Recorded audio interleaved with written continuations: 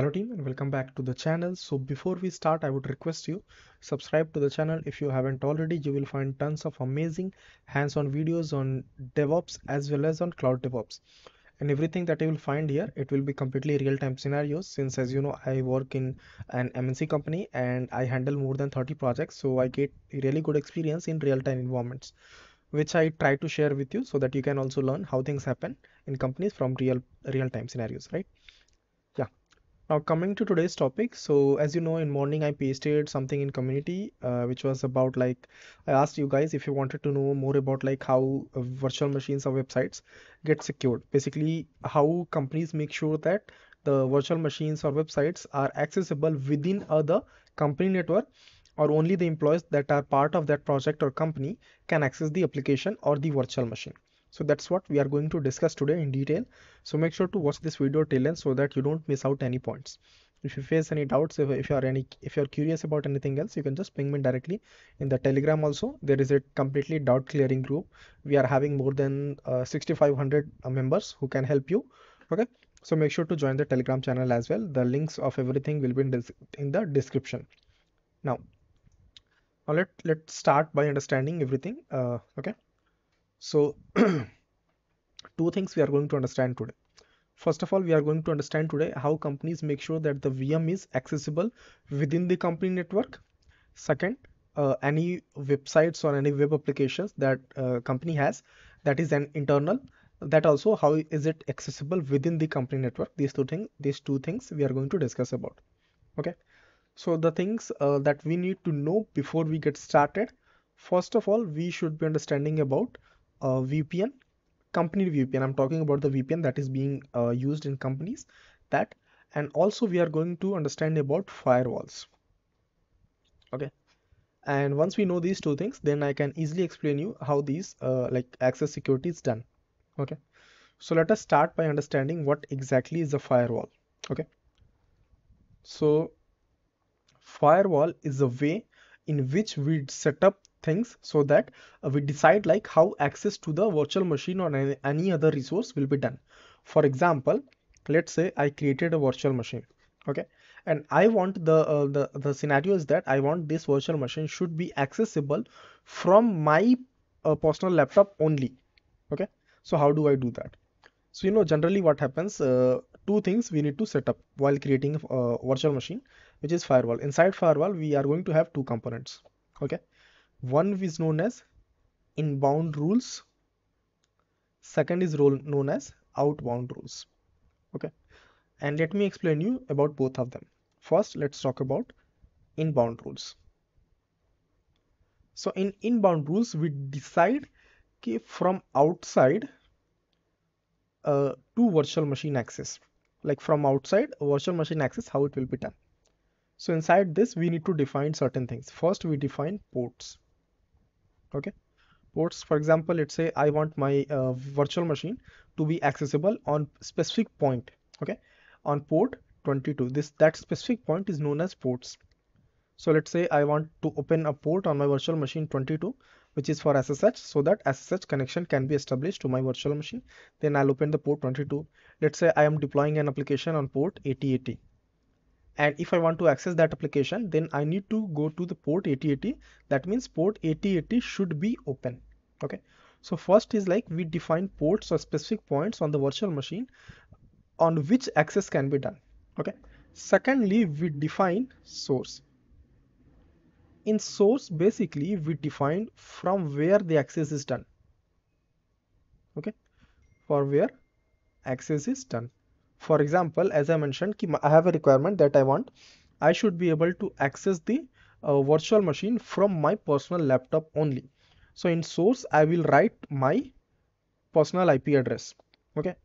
If i write my personal ip address then these two things will make sure that the access to virtual machine will be done only from my personal laptop and only on these two points on port 22 and port 8080 so access from outside to virtual machine that is inbound rules. Okay and you can see we have configured that access should be only from my personal laptop okay because we are adding in source the IP address of my personal laptop and on specific points which is port 22 and port 8080 that is inbound rules. Talking about outbound rules.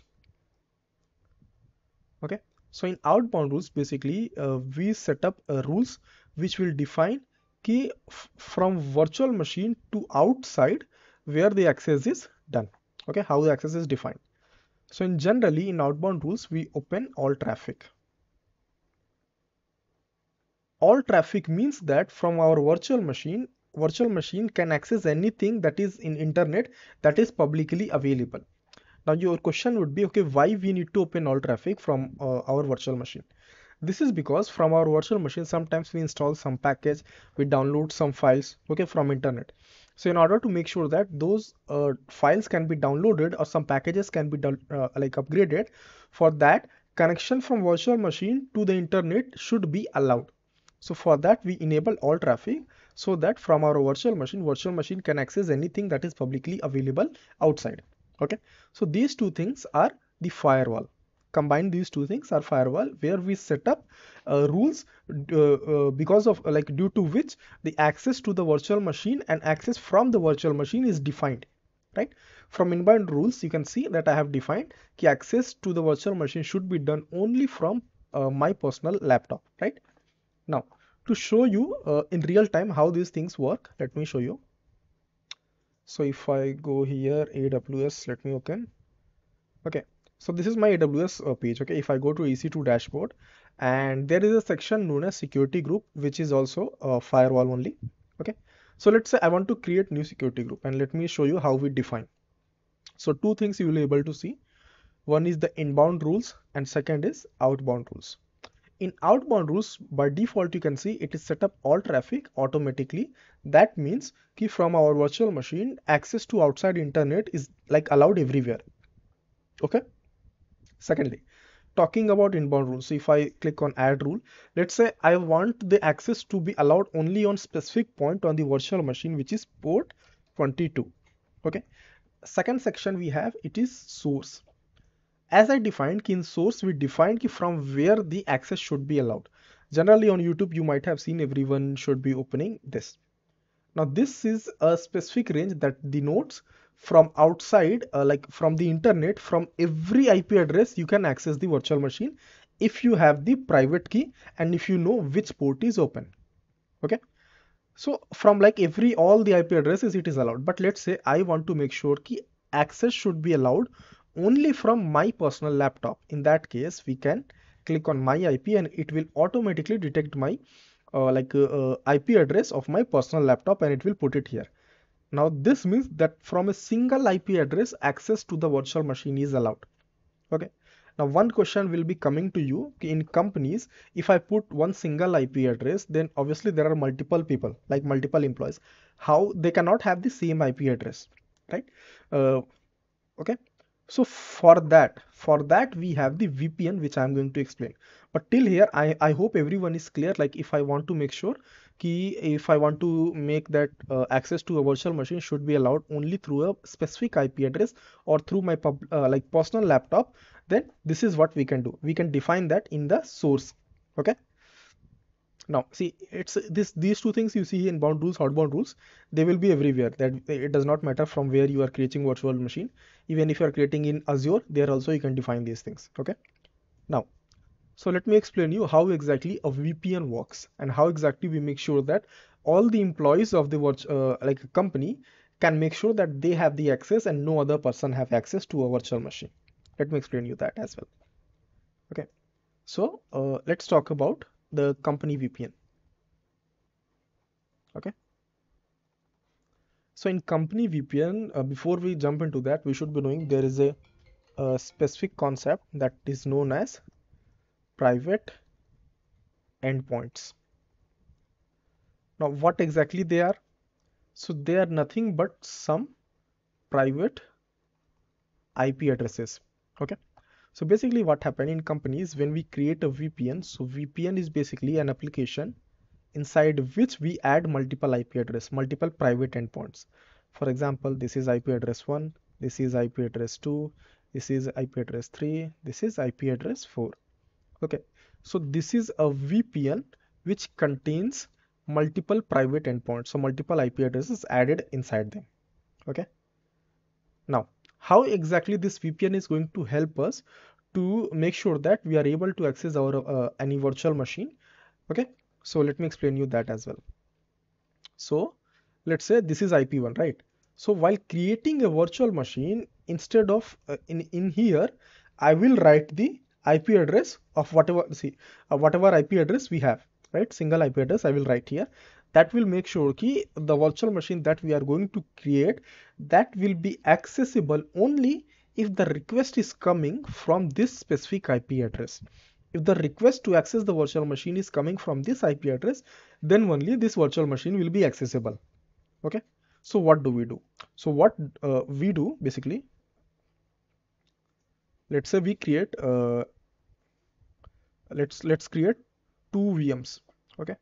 This VM, uh, this will be VM1 and which uh, in the source of this VM we have mentioned IP1 that means uh, this VM will be accessible only from IP address 1 and this is my second VM VM2 and here we have defined it should be accessible only from IP3 okay and this is let's say these are laptops uh, employee laptops this will be personal laptop 1 this will be personal laptop 2 this will be personal laptop 3 these are employee laptops okay so using user credentials, this is a company uh, application, uh, employees will connect to this VPN. Okay. Once they are connect to this VPN and then they request the access to this virtual machine, then the request is not going from here. If like request is not going from here because if request if if employees using their personal laptop if they without connecting to this uh, vpn if they send request directly to the virtual machine it won't allow because the request is coming on the ip address of this personal laptop right? And that is not in the source. So access won't be allowed. But if the employee has connected to the virtual machine and then uh, like send the request to virtual machine sorry uh, if the employee has connected to the VPN and then sent request to the virtual machine the request is going from these IP private endpoints.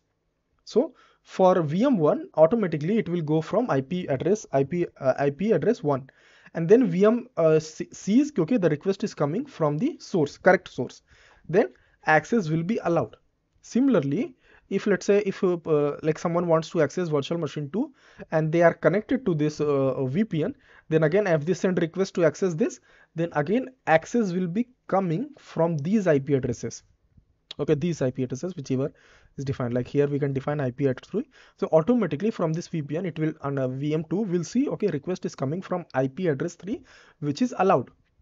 Similar kind of thing happens with websites if any website is there within company network so to in order to make sure that that is accessible within the company network what we do in the source like uh, we set up a firewall or we set up a private endpoint and we define okay this website should be accessible from a specific private endpoint.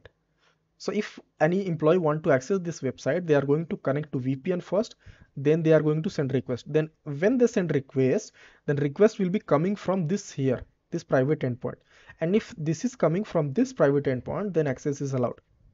Okay? So we if and if we try to access the website directly it won't allow because it will see that the access is coming from the IP address of this personal laptop which is not added in the source.